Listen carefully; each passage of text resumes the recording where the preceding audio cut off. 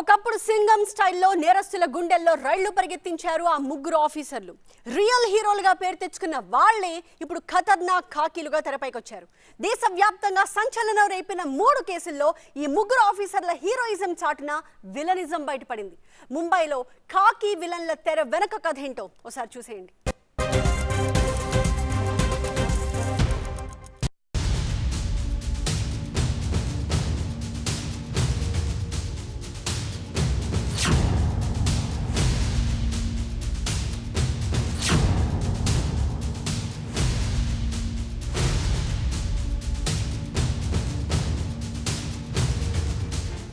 ఒకప్పుడు powerful officer ఎలా ఉంటాడో చూపించారు. ఎన్ని ఒత్తిళ్ళు వచ్చినా తలబంచలేదు ఎన్ని బెదిరింపులొచ్చినా బెదరలేదు. వెంటాడి వేటాడి నేరస్తుల భరతం పట్టారు. మాఫియా బెండు తీశారు.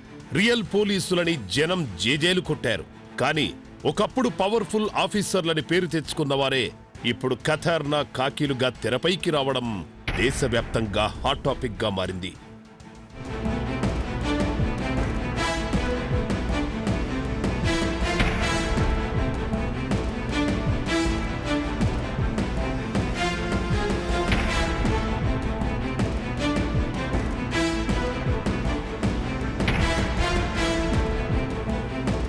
పరంబీర్ సింగ్ ముంబై మాజీ police commissioner Sameer Wankhede Mumbai NCB zonal అధికారి సచిన్ హిందూరావ్ వాజే మహారాష్ట్ర మాజీ పోలీస్ ఆఫీసర్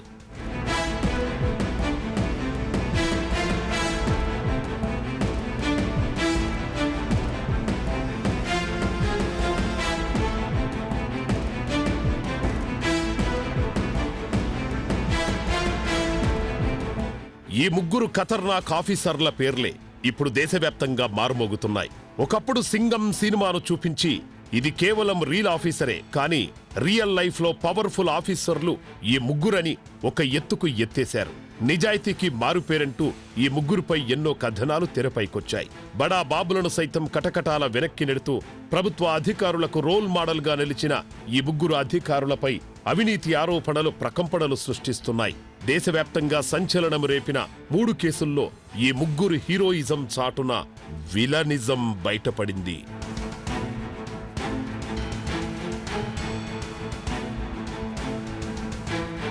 రెండు వేల ఎనిమిది నవంబర్ ఇరవై ఆరు ముంబై నగరంపై ఉగ్ర దాడి. మహానగరం ముంబైలో పదమూడేళ్ళ క్రితం పది మంది పాకిస్తాన్ జిహాదీలు ముంబై నగరంలో కాల్పులు బాంబు దాడులతో మారణహోమం సృష్టించారు. నవంబర్ ఇరవై ఆరు నుంచి ఇరవై తొమ్మిది వరకు మూడు రోజుల పాటు దారుణ మారణకాండ కొనసాగింది.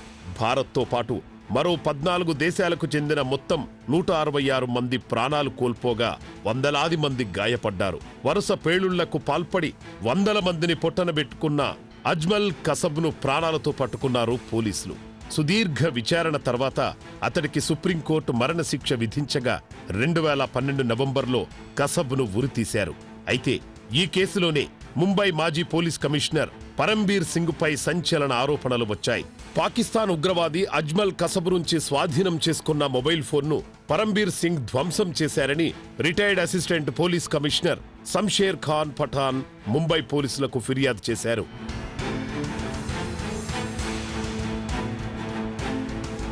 దాడుల తర్వాత కసబురుంచి స్వాధీనం చేసుకున్న ఫోన్ను అప్పటి senior inspector NR Bali Kamble అనే కానిస్టేబుల్కు ఇచ్చినట్లు సంషేర్ తన ఫిర్యాదులో పేర్కొన్నారు.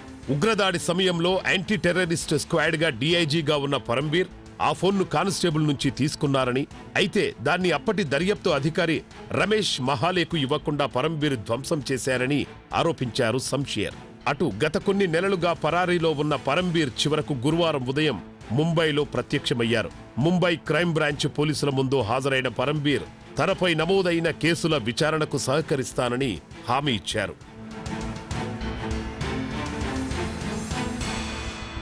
ఫిబ్రవరి ఇరవై నాలుగు. అంబానీ ఇంటి ముందు స్కార్పియోలో పేలుడు పదార్థాలు. ముంబైలోని కార్ మైకేల్ రోడ్డులోని ప్రముఖ పారిశ్రామికవేత్త ముఖేష్ అంబానీ నివాసానికి ఐదు వందల మీటర్ల దూరంలో పార్క్ చేసిన స్కార్పియోలో ఇరవై జిల్టెన్ స్టిక్స్ లభించాయి. నీతా ముఖేష్ అంబానీలను బెదిరిస్తూ అందులో ఒక్క నోటు కూడా దొరికింది. ఇది ట్రైలర్ మాత్రమే.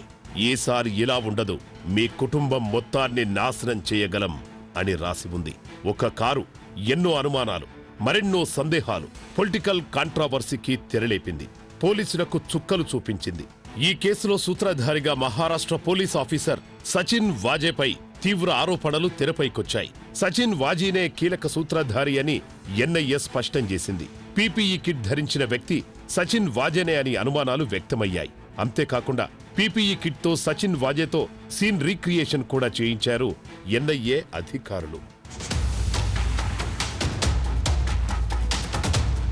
అంబానీకి బెదిరింపు కేసులు వ్యాపారి మన్సుఖ్ హిరేన్ హత్య కేసుపై దర్యాప్తు చేపట్టిన ఎన్ఐఏ ఇన్స్పెక్టర్ సచిన్ వాజే సహా పలువురు నిందితులను అరెస్టు చేసింది.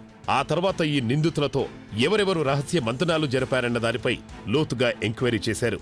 ఈ క్రమంలోనే ముంబై మాజీ కమిషనర్ పరంబీర్ సింగ్ పేరు తెరపైకొచ్చింది. పరంబీర్ సచిన్ వాజే సహా పలువురు నిందితులతో మాట్లాడినట్లు దర్యాప్తులో తేలిందని ఎన్ఐఏ తన ఛార్జిషీట్లో తెలిపింది.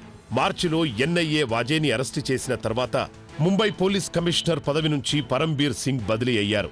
హోంగార్డు విభాగానికి బదిలీ అయిన తర్వాత పరంబీర్ సింగ్ అప్పటి హోంమంత్రి అనిల్ దేశ్ముఖ్ పై సంచలన ఆరోపణలు చేసి వార్తల్లో నిలిచారు. రెండు కేసుల్లో పరంబీర్పై విచారణ జరుగుతుండగా ఆయన కనిపించకుండా అదృశ్యమయ్యాడు. కొన్ని నెలలుగా పరారీలో ఉన్న పరంబీర్ చివరకు గురువారం ఉదయం ముంబైలో ప్రత్యక్షమయ్యారు. రెండు వేల ఇరవై ఒకటి అక్టోబర్ రెండు. డ్రగ్ కేసులో షారుఖ్ కొడుకు ఆర్యన్ అరెస్ట్. బాలీవుడ్ బాద్షా షారుఖ్ ఖాన్ ముద్ర కొడుకు ఆర్యన్ డ్రక్కేస్తో సమీర్ వాంఖడే పేరు దేశవ్యాప్తంగా మార్మోగింది. సమీర్ వాంఖడేపై అవినీతి ఆరోపణలు దేశవ్యాప్తంగా హాట్ టాపిక్గా మారాయి. కోట్లలో లంచం డిమాండ్ చేశాడనే విమర్శలు సంచలనం రేపుతున్నాయి. ఆర్యన్ ఖాన్ కేసులో సాక్షిగా ఉన్న ప్రభాకర్ సాయిల్ ఆరోపణలతో పాటు మహారాష్ట్ర మంత్రి ఎన్సీపీ నేత నవాబ్ మాలిక్ విమర్శలు చర్చనీయాంశంగా మారాయి. ఆర్యన్ విడుదలకు ఇరవై ఐదు కోట్లు వాంఖడే డిమాండ్ చేశారని బాలీవుడ్తో పాటు పరిశ్రమలో ప్రముఖులందరి ఫోన్లను ట్యాప్ చేసి అక్రమంగా సంపాదిస్తున్నారని అలానే అతని లైఫ్ స్టైల్ చాలా ఖరీదైందంటూ మహారాష్ట్ర మంత్రి నవాబ్ మాలిక్ తీవ్ర ఆరోపణలు చేశారు. సమీర్ వాంఖడే నిజంగానే నిజాయితీపరుడైతే ఓ ప్రభుత్వ అధికారి ఇంత లగ్జరీ లైఫ్ స్టైల్ని ఎలా డీల్ చేయగలుగుతున్నాడంటూ మాలిక్ సూటిగా ప్రశ్నించారు.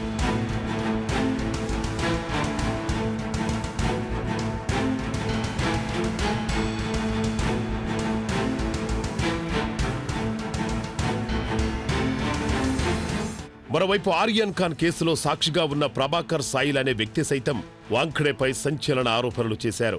ఆర్యన్ ఖాన్ కేసులో ఎన్సీబీ అధికారులు కేపీ గోసావి ద్వారా ఇరవై ఐదు కోట్లు డిమాండ్ చేశారని అందులో ఎనిమిది కోట్లు వాంఖడేకు ఇవ్వాలన్నారని చెప్పారు. దీంతో వాంఖడే చుట్టూ వివాదాలు అలుముకున్నాయి.